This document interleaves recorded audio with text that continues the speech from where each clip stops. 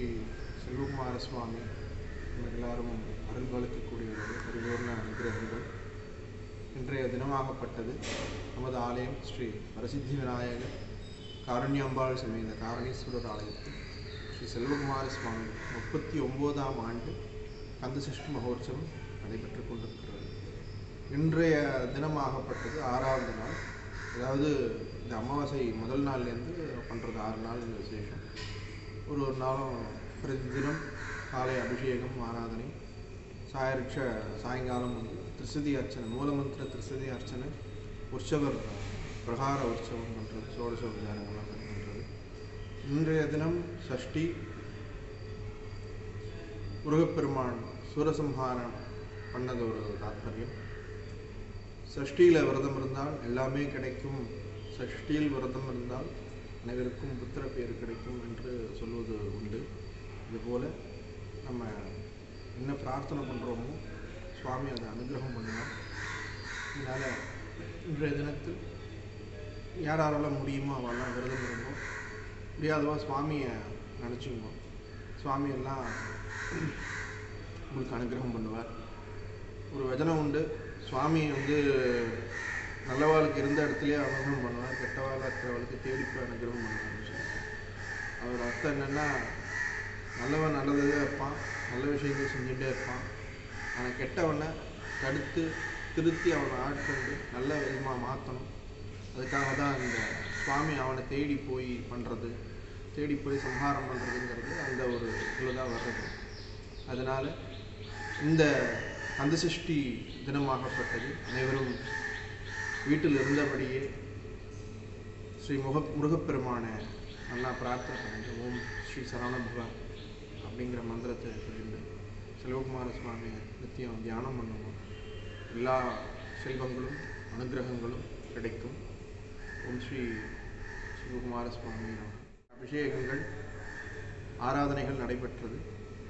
சாயரிட்சை அதாவது இன்றைக்கி சாயங்காலம் என்ன நடக்கும் அப்படின்னா சூரன் தாரகாசுரன் நம்ம கோவிலில் இருக்குது அந்த சிலைக்கு வந்து காப்பு கட்டி அதை வந்து பிற்பாடு பண்ணுவோம் காளி தேவி கிட்ட அனுகிரகம் அனுமதி வாங்கிட்டு அவர் சூரசம்மாரத்துக்கு சூரன் ஆகப்பட்டது ஒரு வரம் வாங்கியிருக்கார். என்னென்னா சிவன் சக்தியால் ஒழிய வேறு எந்த சக்தியாலும் தனக்கு ஆபத்து ஏற்படக்கூடாது அப்படின்னு வேண்டிவிட்டான் அவன் கேட்டது இல்லாமல் அதுக்கு மேற்கொண்டு சுவாமி அவனுக்கு இன்னொரு வரமும் தரார். உனக்கு நான் நாலு கோடி சேனை தரேன். உன் சேனை நினச்சா எந்த திக்குக்கும் போகிறதுக்கான அனுமதியை தரேன். அவன் சேனை எங்கே நினைக்கிறாளோ அவள் போகலாம் அப்படின்னு சொல்லிட்டு அவன் எட்டு திக்கையும் ஏழு திக்கையும் ஈசான திக்குக்கு மட்டும் அவன் போக முடியல. ஏன்னா அந்த முக்கன்னர் இருப்பார். சிவன் சக்தியோடு நம்ம விளையாடக்கூடாது அப்படிங்கிறதுனால அந்த திக்குக்கு மட்டும் போகாமல் மற்ற ஏழு திக்கையும் வெற்றி பெற்று ஏழு பாலகர்களையும் அவன் வந்து அடிமையாக்கி கொடுப்பான் அதனால் இந்த சூரபக சூரபத்மனை வந்து வதம் பண்ணுறதுக்காக சுவாமி வந்து செல்வகுமார சுவாமி வந்து இது பண்ணுறார் முருகனை வந்து இது பண்ணுறார் அவதரிக்க செய்கிறார். அவர் அவதாரம் செய்து சக்திவேல் வாங்கி சுவாம்பாள்கிட்ட சக்திவேல் வாங்குறார்.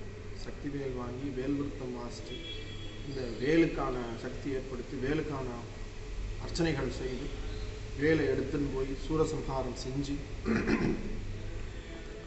கஜமுகன் அஜாமுகி சிங்கமுகன் பானுகோபன் தாரகாசுரன் எல்லாரையும் சூரபத்மன் எல்லாரையும் வதம் பண்ணிட்டு சுவாமி அவன் எல்லாருக்குமே ஒரே ஒரு எண்ணம் தான் தோன்றுறது என்னென்னா இந்த முருகனை எதிர்த்து நம்ம சண்டை போடுறோம் இந்த சின்ன குழந்தைக்கு என்ன ஒரு ஞானம் என்ன ஒரு அறிவு அப்படிங்கிறது தான் அவளுக்கு தோன்றுறது சண்டையிடவும் தோணலை கையெழுத்து கும்பிடவே தோன்றுகிறது அந்த அசுரர் கூட்டத்திற்கு. அதனால் அவன் ஒரு வரம் என்றால் எனக்கு உங்களுக்கு சுமக்கிற பாக்கியத்தை கொடுங்க உங்கள் கையில் இருக்கிற பாக்கியத்தை கொடுங்கன்னு கேட்குறான் உடனே அவனுக்கு பரிபாலனம் பண்ணிடுறேன் முருகப்பெருமான் சொன்ன ஒரு விஷயம் தான். எதிரியை வந்து எதிரியாகவே நினைக்காதீங்க. அவரை வந்து உங்கள் சகோதரனாக மாற்றிக்கணும் உங்கள் பக்கம் இழுத்துக்கணுங்கிறது தான் அதோட தாற்பயம் மயில் ஆக்கி விட்றேன் சேவல் ஆக்கி விட்றேன் அதனால் சூரபத்மனை இவர்கிட்ட வந்து அதனால் இந்த மாதிரி ஒரு சூரசம்ஹார வைபவம் பண்ணுறது வந்து சுவாமி வந்து நம்மளை தடுத்தாட்கொண்டு தீய வழியில் போகிற நம்மளை தடுத்தாட்கொண்டு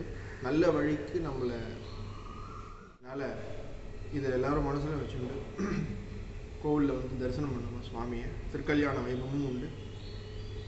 சாயங்காலம் சூரசம்ஹார வைபவம் முடிஞ்சோடனே திருக்கல்யாண வைபவம்.